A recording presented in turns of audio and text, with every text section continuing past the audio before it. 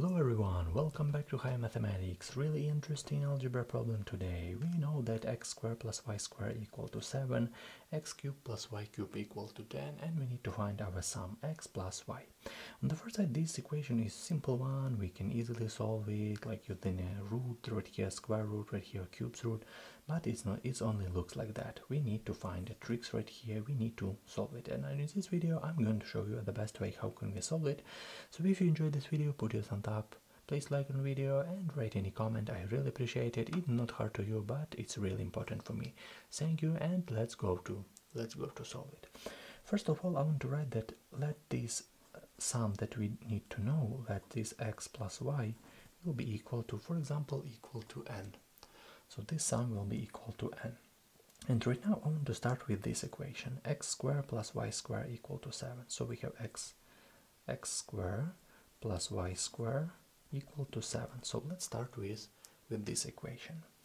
And right now I want to show you a really good trick right here because if I write that x square plus y square and in the end I write as plus 2xy and minus 2xy equal to 7 so nothing changed for us because we can cancel it but if you look closely to this expression x square plus y square plus 2xy this is our formula a plus b square so we will have x plus y square and of course minus 2x y equal to 7. So I hope you understand this step. Okay, and right now x plus y equal to n, we write it right here in the beginning. This is our substitution. So x plus y is our n. So what do we have as a result? We have n square minus 2xy equal to 7.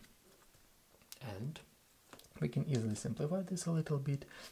We can write it as n squared minus 7 equal to 2xy.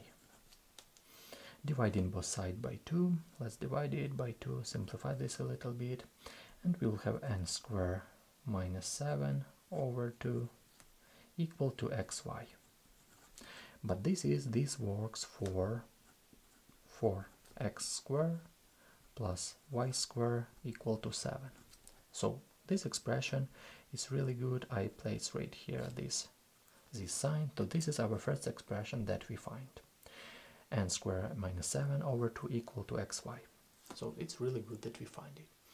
Let's solve this in the next way. We have the next equation, x cubed plus y cubed. I write it right here, x cubed plus y cubed equal to equal to 10. And right now I want to start with the cube formula. a cube, a plus b cube, a plus b cube. This formula looks like that and it's equal to a cube plus b cube and plus 3ab and in parentheses a plus b. This is our this is our formula. But right now I want to mention one really interesting really interesting moment. If we rearrange these rearrange these elements in another way, so we can easily write this formula. Take a look closely. x cube plus y cube equal to x plus y cube and minus 3xy in parentheses x plus y. So when, uh, right now I want to mention one really interesting moment because this this equal to 10 x cube plus y cube equal to 10 x plus y equal to n and x plus y equal to n right here. So what equation we will have? We will have n cube n cube we will have minus 3xy times n equal to equal to 10. So this is after all of this substitution.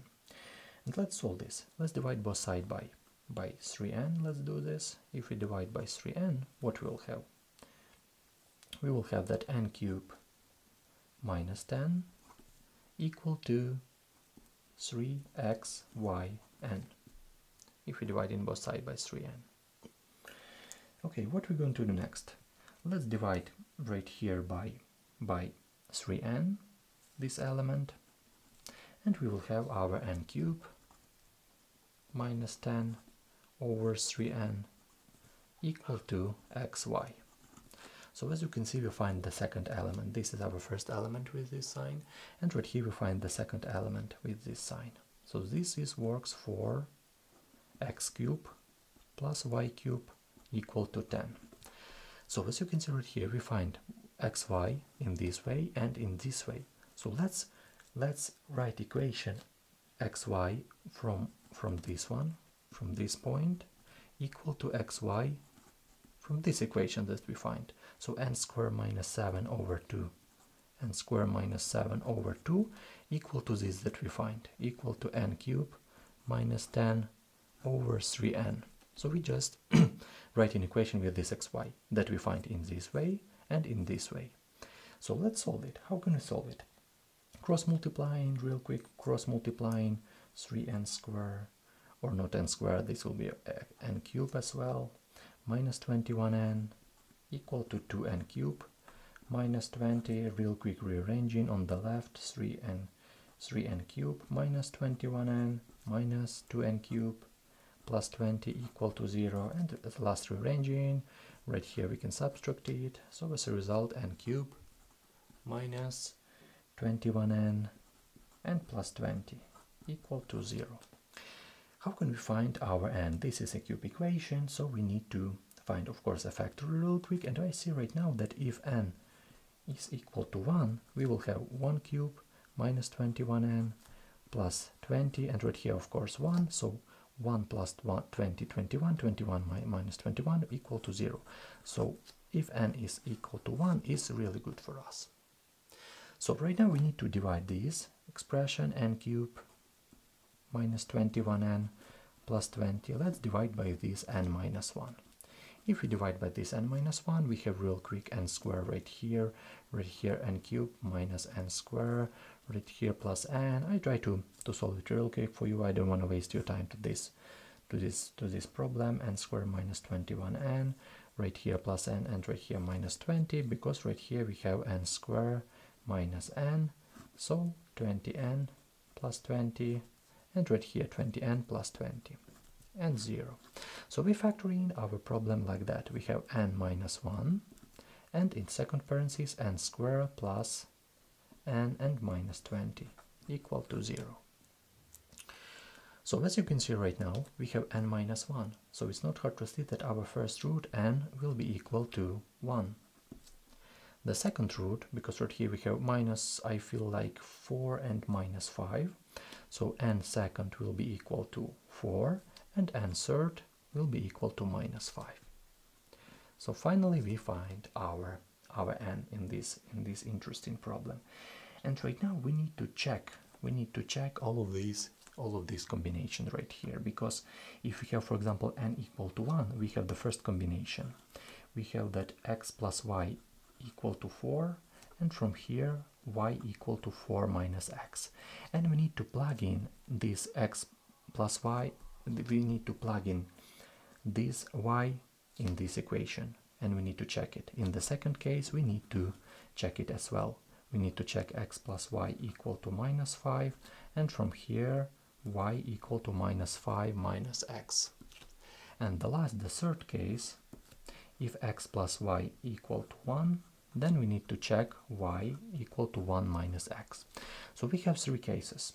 And I want to go further and I want to say that right here in this case there will no will be solution if you're talking about uh, solutions and in the second case as well so one only case that will have solution is when x plus y equal to 1 and y equal to 1 minus x. Take a look closely.